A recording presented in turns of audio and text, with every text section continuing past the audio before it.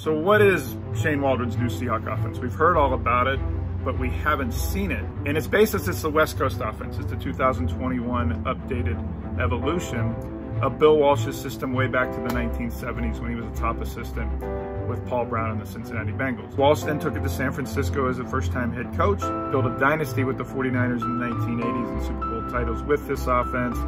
Mike Holmgren, a disciple of Walsh's, then took it to Green Bay, won a Super Bowl with the Packers, came to Seattle with the West Coast offense and his tweaks to it, and then went to Seattle's first Super Bowl in 2005. Now it's evolved since then. In its basis, this new offense is Bill Walsh's original 49er system from 50 years ago. And I'm going to show you three plays to illustrate how there is a common thread here. The catch, the most famous Paul Bill Walsh play probably of them all, the one 1981 NFC Championship game. This one going to end? Montana lines up at the five. And on third down and three, he rolls right looking to throw. Looking to throw, and he throws into the end zone. Touchdown! Touchdown! Touchdown, San Francisco by Dwight Clark. Montana under center, split backs offset to the right, a tight end to the left, stayed in for blocking on this third and three. Notice the two wide receivers split. So 21 personnel, two backs, one tight end, and two wide receivers, the standard set in the West Coast offense. Freddie Solomon was inside on the slot. He was actually the primary receiver, as Walsh explained it later. This play was designed to be an extended rollout for Joe Montana to allow Dwight Clark the time to rub off Solomon's cornerback that was head up on him on the line of scrimmage. Well, what happened was, and the reason why Dwight Clark got the catch and not Freddie Solomon, was the Clark rub off didn't work. And Solomon's man stayed with him on a four yard out route to the sidelines, and Joe Montana's original read was covered. So he had to keep extending his roll to the right. The design rollout in Walsh's offense allowed a double move by Clark into on a slant to the end zone and then a drift across the back line of the end zone. You know the rest. Leaping catch. 49ers go to and win their first Super Bowl in the 1981 NFC title game. Mike Holmgren, as I said, a student of Bill Walsh in those San Francisco days. And he kept the basis of the West Coast offense for San Francisco with a few tweaks. One of the biggest tweaks that Holmgren did was institute three wide receivers rather than always two, and he went a lot of single backs with those three wide receivers. So then we started to get 11 personnel, as it's called, one running back and one tight end, or even 12 personnel with two tight ends. But three wide receivers became a staple because Holmgren wanted to create matchup problems with the defense in the secondary with an additional wide receiver and take out a fullback slash halfback. But the basis of Walsh's offense remained, and one of the staples of Holmgren's plays on a third and three in the West Coast offense was this one. Brown right, Brown with the two running backs again as setbacks side by side. B right 23 Y stick. Y is the tight end, and the tight end's here. It's a third and three play where the tight end is the base, the primary read, the number one read as a six yard stick route. Turn and look for the ball, drift to the outside. Quarterback again with Brett Favre, Matt Hasselbeck with the Seahawks under center. Again, not Bill Walsh hated the shotgun. He thought that it was imperative that the quarterback took three, five, and seven step drops to time the wide receivers' routes and throws rather than to stand back there as a sitting target and shotgun and wait for the receivers to run their routes.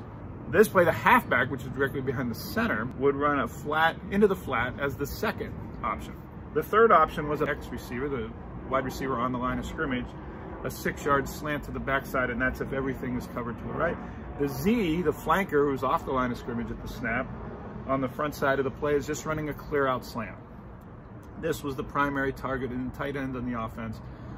And Mike Holmgren's West Coast offense on a third and three play. And this is what he brought to Seattle in the 1990s. The evolution again, more use of the tight end and then more three wide receivers, single backs than Bill Walsh had.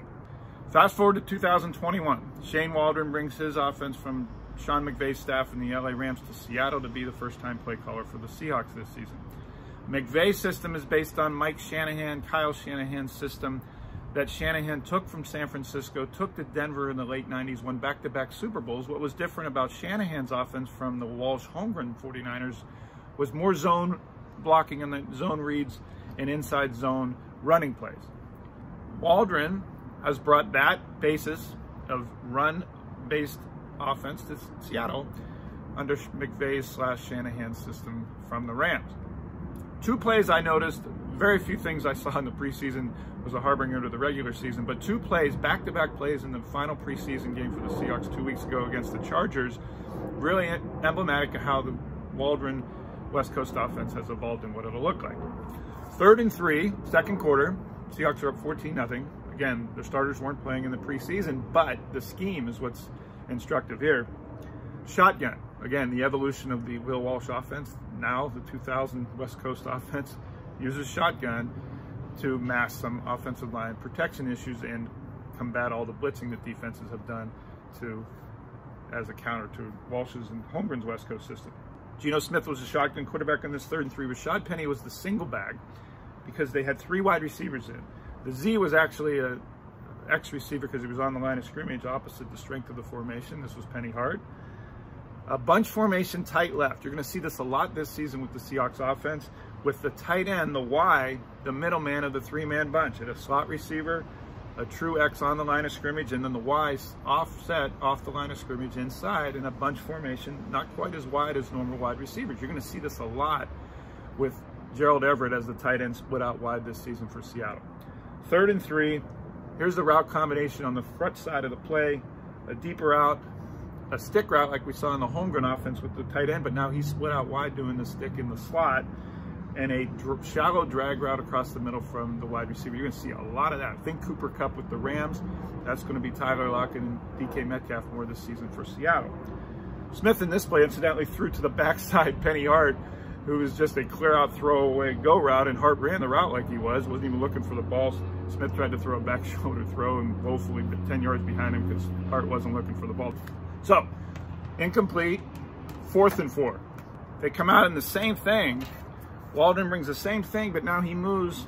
The tight end goes up to the line of scrimmage. The X moves off, and now you have an offset bunch with the Y, the tight end, on the line of scrimmage. They're still bunched left. They come in the same formation on fourth and four, run basically the same look to the Chargers. What's different this time, the slot doesn't do a shallow, but a deeper cross. The tight end, Cam Sutton, does the shallow drag that you're going to see a lot of to clear out the linebackers.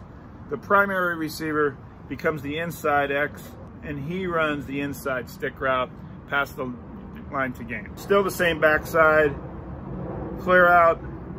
Penny this time goes in toward the line of scrimmage inside the tackle and goes into the flat as a safety valve in case there's pass rush. There isn't any. Smith throws this time on the inside completion to the slot receiver for a first down, Aaron Fuller, to the play side, formation side, that probably where the ball should have been on third down as well. At least Penny Hart thought so. But the signature of this is the tight end split out wide in bunch formations, tight bunch formations. Why tight? Why in the slot? To get the defense to have to defend inside and then out. Then the routes will make them have to defend the entire sideline to sideline and give the receivers more room to run, get them over the across the middle more quickly than if they were split out in normal splits. You're going to see a lot of this this season, and that's the evolution of Shane Waldron's system from way back to Mike Holmgren. Yeah, they're going to run have more run base. That's why he's here, but they'll run more out of one back. Yeah, they're going to have the tight end, but the tight end's going to be split out wide. Zone base running game from Shanahan and Alex Gibbs, that Seahawks are going to have that as well. But you can see how the evolution of the West Coast offense still has the roots in Bill Walsh. When you see Russell Wilson under center a lot more this season, think Bill Walsh in the 1970s and 80s West Coast offense. Thanks for watching.